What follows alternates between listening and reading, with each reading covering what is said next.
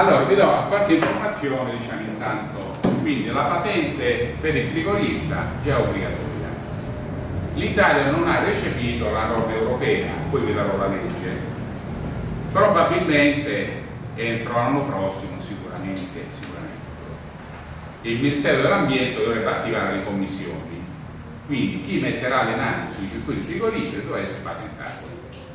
E la patente sono quattro livelli di patente, primo, secondo, terzo e quarto con i gradi più bassi praticamente non ci fate nulla.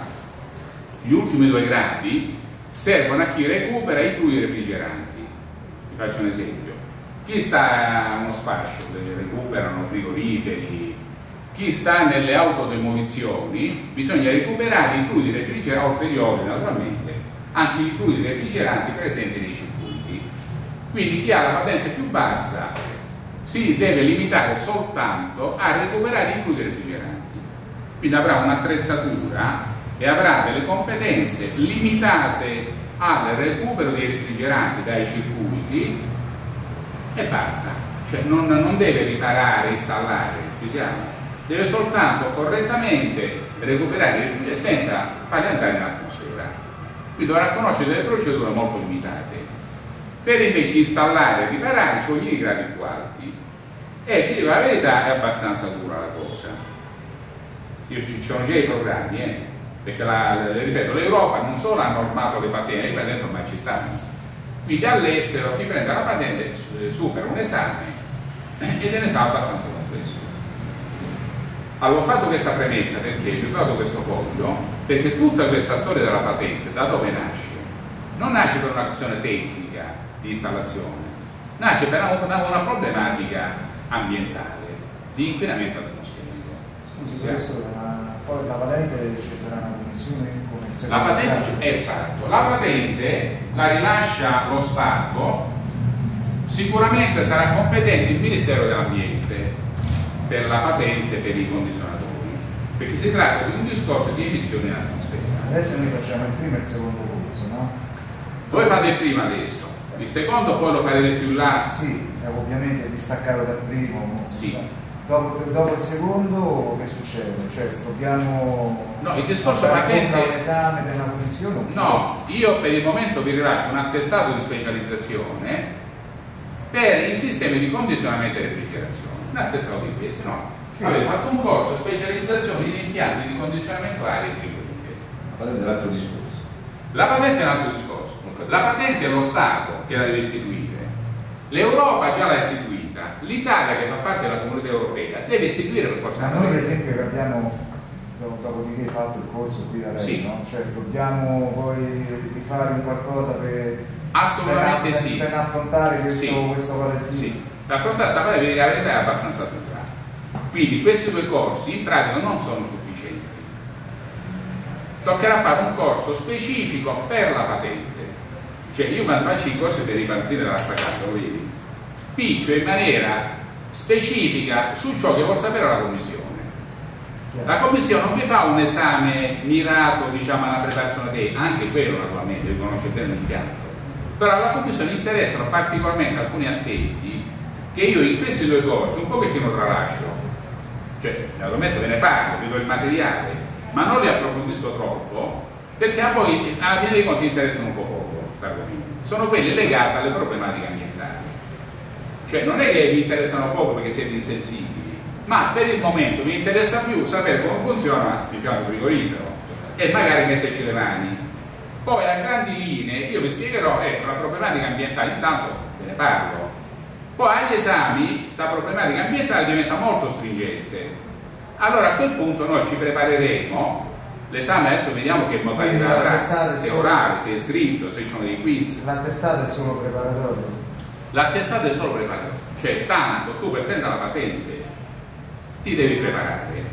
Questi due corsi già ti preparano per la patente, però diciamo che non sono sufficienti, perlomeno per il, grado più elevato di patente. Poi per le altre patenti i gradi più bassi ne avanza, ma ripeto, i gradi più bassi ci fate poco cioè a te non interessa recuperare i refrigeranti, mica lavori in uno spazio di lavoro. Il secondo grado. Ma avanti in Primo o secondo grado. Tu a pari livello oppure. No, non so a pari livello, non è il primo e secondo. Poi dopo vi parlerò della normativa dei patenti e vedo con la legge. Cioè c'è il programma, già c'è tutto. Eh. Cioè voi quando dovete affrontare l'esame, che patente voglio prendere? Il primo, il secondo? La patente è chiaro dovete prendere prima perché chi lavora negli impianti frigoriferi deve avere la patente, punto. Quindi per legge nessuno, tutti i vecchi installatori dovranno acquisire la patente. E eh, anche per loro sarà tosta. Finché non riuscirà, che non verrà messa questa commissione, sarà buono l'attestato?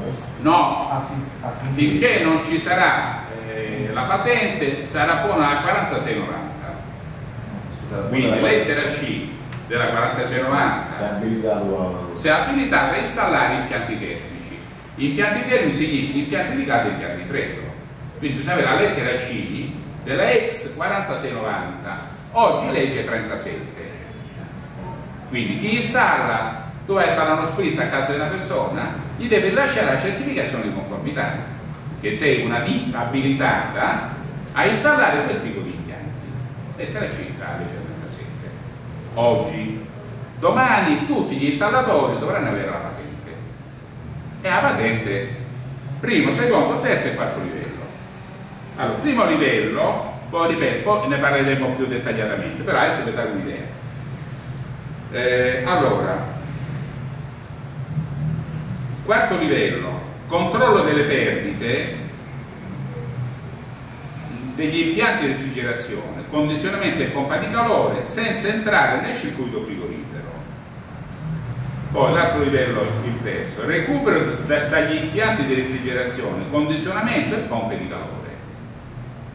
Quindi terzo livello solo recupero, quarto livello controllo delle perdite. Secondo livello manutenzione e riparazione degli impianti di refrigerazione, condizionamento e pompe di calore.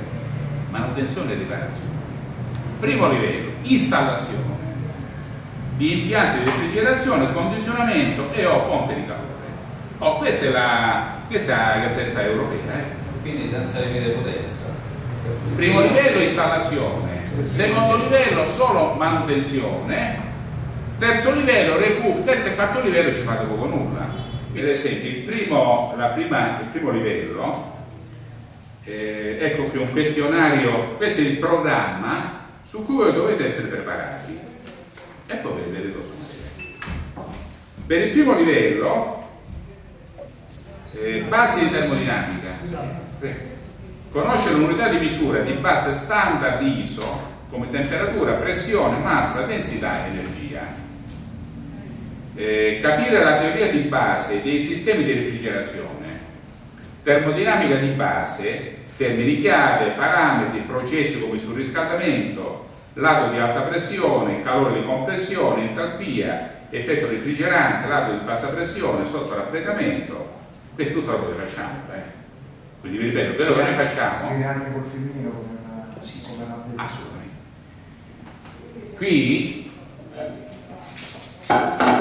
tutto quello che qua facciamo è esclusivamente programma per frigoristi e vi servirà per l'esame.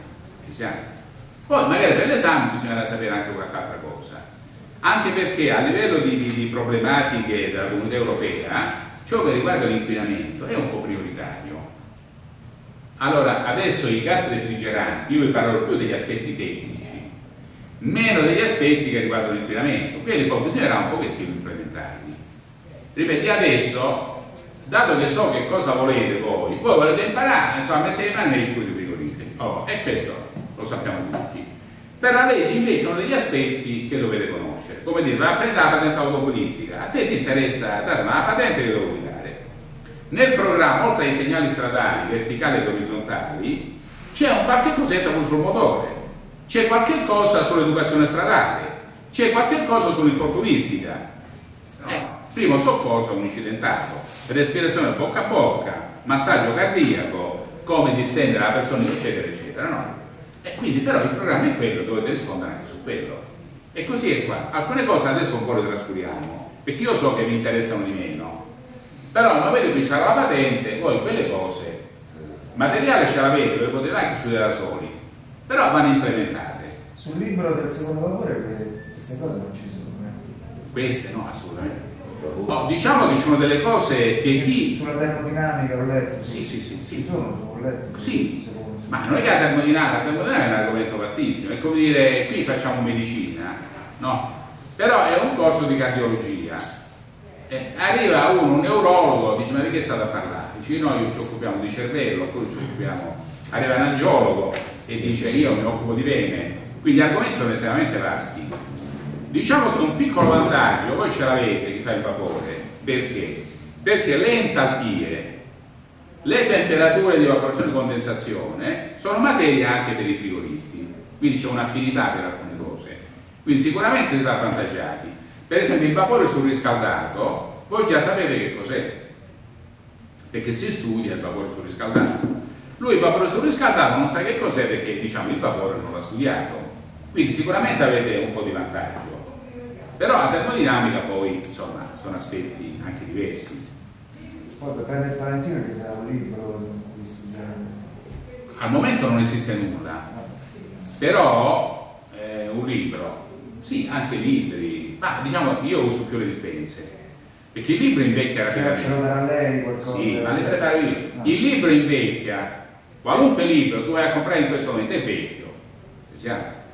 Invece i refrigeranti, il- c'è il 410A, il 407C, il 422D, insomma tutta roba che se uno gli sta appresso non li trovi sui libri, li trovi diciamo sulle riviste del settore, le quali seguono momento per momento le cose.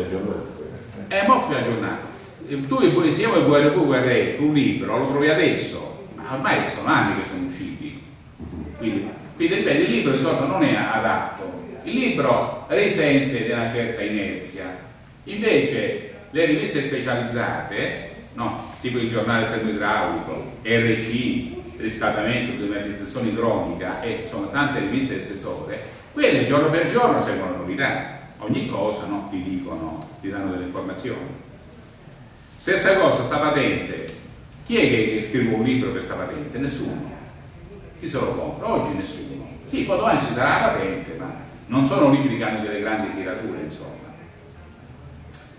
Allora, vi dicevo, primo livello, eh, ecco, eh, sotto raffreddamenti, surriscaldamenti, poi usare le tavole di diagrammi principali, no, tavole e diagrammi, diagramma psicometrico dell'umidità, tavole delle portate dei fluidi refrigeranti, e interpretare nel contesto del controllo delle perdite in modo indiretto. Diagrammi pressione entalpia, tavola di saturazione dei refrigeranti, diagramma di circuito frigorifero ad un compressore. Eh, poi conosce l'operazione base dei seguenti componenti usati nel sistema di refrigerazione e il loro ruolo e importanza per prevenire e identificare la perdita del refrigerante valvola sfera, diaframma, valvola globo, valvola di sicurezza, controllo di temperatura e pressione, spie di liquidi e indicatori di umidità, controllo di sbrinamento, sistemi di protezione, dispositivi di misurazione come il termometro, sistemi di controllo dell'olio, ricevitori e separatori di liquido e di olio. Oh, siamo alla prima pagina, eh? avevo letto tre cose. Sono in, in tutto eh, sono cinque pagine, naturalmente non ve le leggo tutte perché adesso non ci serve, però vi do un'idea di quello che è il programma per il primo livello, per installare, che è abbastanza duro. Anche i, frigo- i vecchi frigoristi esperti, prima di affrontare questo esame, si dovranno dare una bella ripassata. Perché il frigorista spesso è uno pratico che mette le mani, c'ha una grossa esperienza, ma se si presenta all'esame a livello teorico lo bocciamo subito. È un'unità. Eh, però gli mancano spesso diciamo, i principi di termodinamica i principi fisici e quelli c'è l'esame di Stato e niente di. Allora vedete, a Valencia ha presentato un rapporto delle Nazioni Unite. L'IPCC è il Comitato Intergovernativo sul Mutamento Climatico. Voi sapete, ne avete sentito parlare, il protocollo di Kyoto, l'avete sentito nominare? Il protocollo di Montreal, sì. che si, riunivano, mangiavano. G8. È il G8, no? No, qui si tratta di problematiche che riguardano i mutamenti climatici, il surriscaldamento dell'atmosfera. Allora, l'ultima riunione, vedete, New York, eh, Ban Ki-moon, che è il segretario di questo IPCC, dice mi presento davanti a voi con lo spirito umiliato. Oh, qui c'era la riunione, c'erano 130 paesi. Che poi la prima nazione che non aderisce. Chi è? L'America. Eh. La Cina. No, no, la Cina ha aderito. L'America- tutti, allora, tutti aderiscono. Adesso con Obama ha aderito anche l'America. Eh, con Clinton l'America aveva aderito. Poi è arrivato Bush e non ha sparigliato le carte. Perché Bush si disse era andato al governo con i soldi dei petrolieri. Cioè lì sono delle cordate, no? Quindi chi finanzia la campagna presidenziale, chi sostiene un presidente, nel caso di Bush erano stati prevalentemente gli industriali petrolieri, ai quali lui ha dovuto dire adesso non vi rompo più le scatole, posso questi problemi dell'inquinamento. Ci siamo? Perché a livello industriale il peso.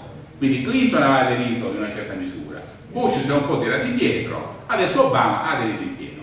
I cinesi e gli indiani hanno aderito, se con modalità un tantino dicendo dateci tempo, no, la nostra economia, le nostre economie, India e Cina, eh, sono in evoluzione adesso.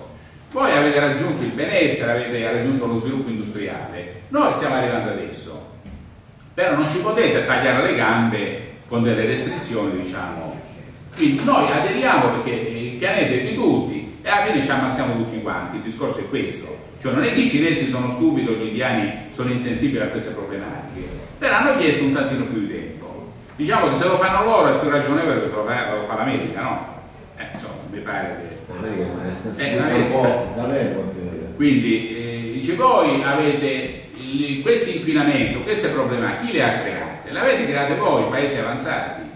Adesso non potete venire a dire a noi, paesi eh, più arretrati, di insomma, eh, per esempio la foresta amazzonica no, è stato chiesto al Brasile di non deforestare. Cioè voi state distruggendo il polmone del mondo, la foresta amazzonica. Mi pare che il 60% dei prodotti farmaceutici, farmaceutici con principi vegetali vengono da quella foresta. Quindi sparita quella foresta, quella foresta viene devastata tutti i giorni.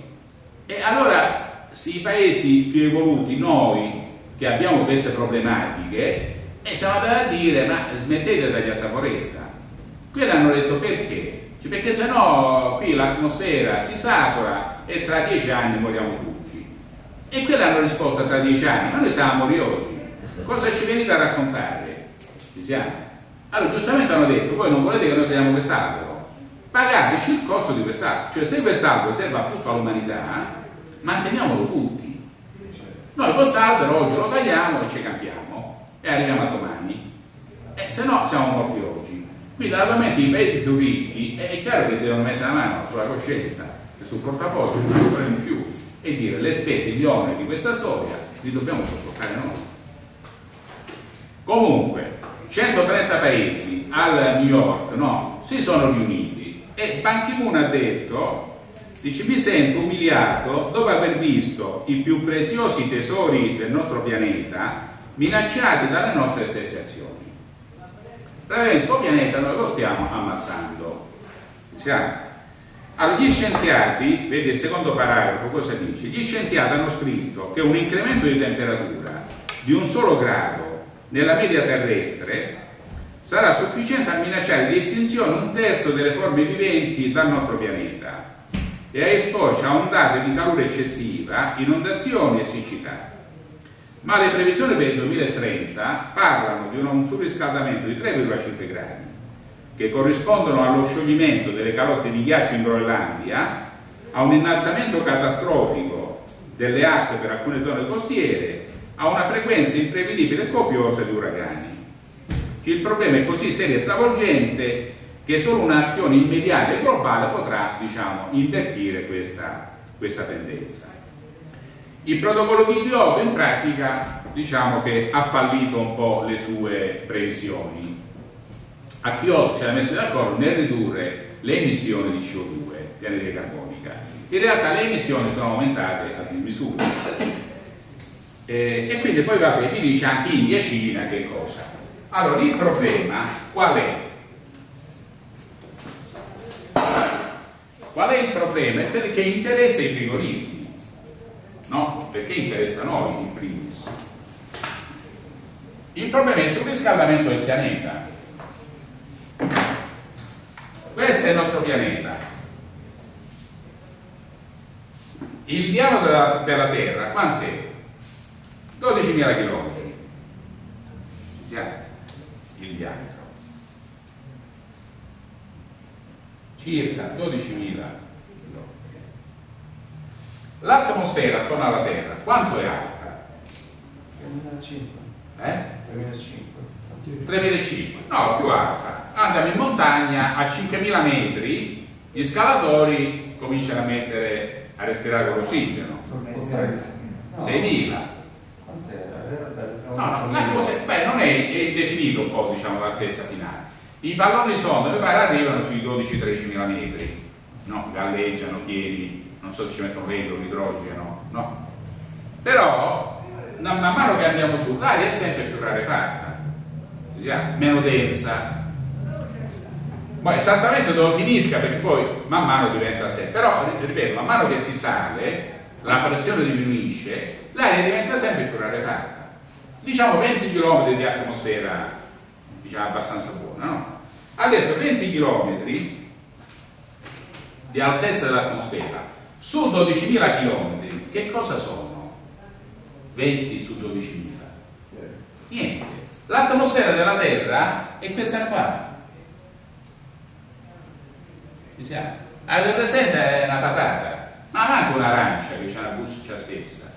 L'atmosfera della Terra è un, uno spazio sottilissimo rapportato al diametro, no? 20 km, poi saranno 30, ma di aria diciamo sempre meno. E allora questa atmosfera in cui noi viviamo, quindi l'aria respirabile, le temperature, una serie di problematiche, si è formata in milioni di anni. Fino a 40-50 anni fa questa atmosfera non ha mai avuto problemi. Fino a 50 anni fa lo sviluppo industriale, il traffico autoveicolare, i processi di combustione erano estremamente limitati e quindi l'atmosfera godeva ottima salute. In, quest in questi ultimi 40 anni è avvenuto uno sconvolgimento. Noi scari abbiamo scaricato e continuiamo a scaricare in atmosfera delle quantità terrificanti di fumi, le nostre emissioni, l'antropizzazione del pianeta, no? E noi siamo arrivati a 6 miliardi, mi pare. Quindi proprio sto pianeta morirà. Ziti che diceva sono 50 le emergenze del pianeta Terra, io francamente quali siano 650, però la sovrappopolazione è uno, il, il surriscaldamento del pianeta è un altro, il problema dell'acqua è un altro, so, ce n'è una stizza. Cosa sta succedendo? Poniamo che l'atmosfera, no, siamo più ottimisti, è questa qua. Il Sole quindi emana le sue radiazioni che sono prevalentemente due, raggi ultravioletti e raggi infrarossi. I raggi ultravioletti sono quelli che vengono fermati dall'ozono. In atmosfera, avete sentito parlare di buchi nell'ozono, no? Che cos'è l'ozono? È ossigeno trivalente, O3. Anche questo ossigeno, queste molecole di ossigeno trivalente si sono formate in atmosfera attraverso i millenni, decine di migliaia di anni. E questo ozono riduce la violenza dei raggi ultravioletti. Perché i raggi ultravioletti, se arrivano sulla Terra non filtrati da questo strato di ozono, producono tumori della pelle, producono alterazioni genetiche sia agli animali sia ai vegetali, quindi con conseguenze praticamente gravissime. E allora si è visto che nell'atmosfera si erano cominciati a formare dei buchi in questo ozono, per cui questi raggi ultravioletti arrivano su di noi con una violenza diciamo pericolosissima. Che strato c'ha questo? Eh? Che strato c'ha questo? Che strato c'ha? Eh, nelle parti più alte dell'atmosfera c'è questo strato, non so che spessore sia, che quantità, di ossigeno trivalente. Che cosa sta succedendo? Che il cloro emesso da una quantità di processi industriali ma per quanto riguarda gli impianti frigoriferi, presente nei, nei clorofluorocarburi e presente negli idroclorofluorocarburi, questi sono tutti gas refrigeranti, eh? adesso vi dico i dettagli. Le molecole di cloro distruggono le molecole di ozono riducendo l'ossigeno bivalente, l'ossigeno è quello che noi respiriamo. Ma a noi non interessa questo, a noi interessa questo. Ci siamo? Quindi sta venendo a mancare per colpa prevalentemente delle molecole di cloro, una molecola di cloro fa una strage di, diciamo, di ozono, riducendolo a ossigeno bivalente. Quindi viene a mancare questa protezione. È chiaro che se l'atmosfera fosse priva di ozono, noi non potremmo esporci del sole. Ci dovremmo proteggerlo con degli indumenti, che ne so, con un ombrello d'alluminio, con una tuta metallica. Diversamente. Questo è un aspetto. Quindi i buchi nell'ozono sono stati rilevati, mi pare, ai poli in maniera prevalente e comunque sia, pare che queste molecole di cloro, comunque ormai emesse in atmosfera, per altre ventina di anni continueranno a salire, creando ulteriori danni. Però perlomeno bisogna fermare questa distruzione di queste molecole di ozono. Quindi tutti i liquidi refrigeranti sono liquidi che volano a bassa temperatura. Eh, volete temperature molto basse, tipo l'azoto liquido, no? L'ossigeno liquido. Questo qua, vedete, è una miscela con la temperatura del corpo, bolle e va su. È una miscela a base di etere. Quindi noi possiamo realizzare liquidi che veramente buonano a tutte le temperature. Oppure possiamo creare le condizioni per farli bollire a bassa temperatura. Per esempio l'acqua. L'acqua, poi ve lo spiego, è usata nei sistemi ad assorbimento. I sistemi di refrigerazione sono diversi, ci sono quelli a compressione, questo è l'assorbimento. Questo è il refrigerante è l'acqua, acqua e bromuro di liglio. Come si fa a usare l'acqua come refrigerante? La si fa bollire a 7 gradi, quindi fredda.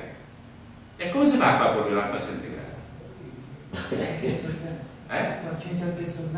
No, ma passando la pressione. L'acqua bolle a 100 gradi a livello del mare a un'atmosfera. A, a 0,01 bar l'acqua bolle a 6,7 gradi. Ma se, se cade ancora la pressione, l'acqua bolle a 10 a 20 gradi sotto zero.